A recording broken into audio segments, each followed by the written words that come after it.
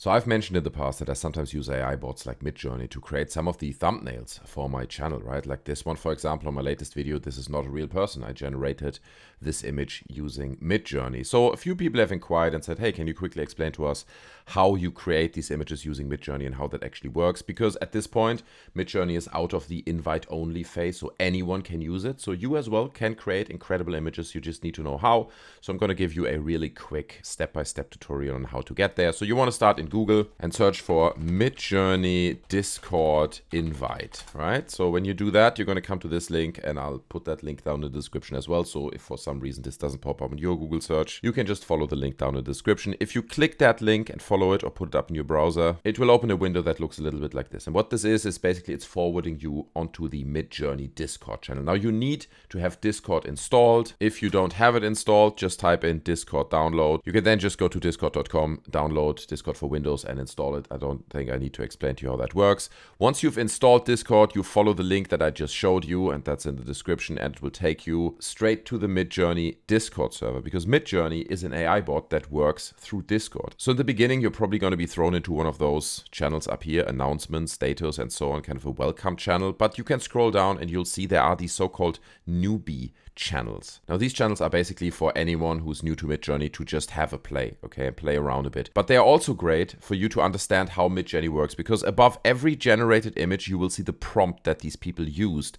to generate that image. So before you get started and use the limited prompts that you have, because if you're not subscribed to Midjourney and pay for it, then you have a limited amount of images that you can actually generate. So it does make sense before you get started to kind of read through some of those prompts and get an idea of what works and what prompts people are actually using to get to specific results. Now, if you want to generate an image, the way this works is you go down here, you like again, you join one of these newbie channels, you go down to the message prompt and type in forward slash imagine. Once you type in forward slash imagine and press tab, it will open this little prompt window, okay? And here you can type in anything you want. Try to be as descriptive as possible, be as clear as possible. Don't make it too long. You can add prompts like photorealistic, a hand-drawn illustration, or a Van Gogh painting or whatever, depending on what style you look for in the art that you want to generate. So let's do one real quick just so I can show you guys how it works. Let's type in old man sitting on the beach eating a Sunday roast dinner, Vincent van Gogh style. Okay, just so I can show you guys what I mean. Again, you can also just put in like concept art or deviant art or something, then you'll get a completely different result.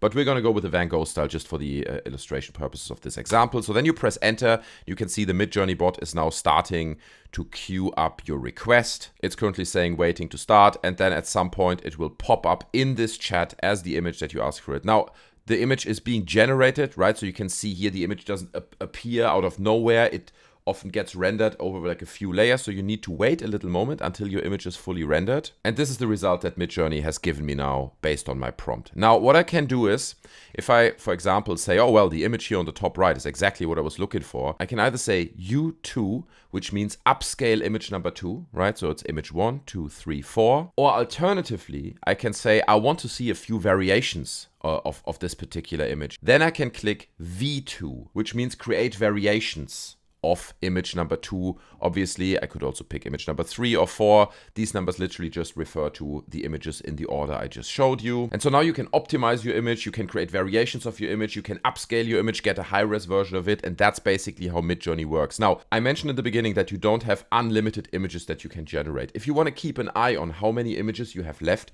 you have to type in forward slash info okay? Forward slash info, if you press enter, will give you a little bit of a breakdown of how many images you generated overall, okay? How long that took, how many minutes of render time you have left that you can use for free. It shows you what subscription model you're on. And I recommend keeping a close eye on that because if you just wildly keep generating and upscaling and creating variations all the time, you will run out of free minutes to generate images very quickly. So just be aware of that and keep an eye on that. And that's basically it. That's how Midjourney works. Obviously, the whole thing is a science in itself. The more time you spend with it, the more you optimize your prompts and figure out what language the AI likes and what leads to which results you'll improve, you'll get better results. But it's a great tool when it comes to generating simple images. And let me add, while you're in Discord already, this channel has a Discord as well. I put the link to that down in the description as well. So you can just follow the link so you can share your Midjourney creations on our Discord with the community, get some feedback and thoughts from other people on your artwork on your AI generated artwork. So I hope this video helped you. I hope you enjoyed the little tutorial. If you did, don't forget to smash the like button. You can also subscribe to the channel for more. And I hope to see you in the Discord. Take care of yourselves and I'm out. Bye.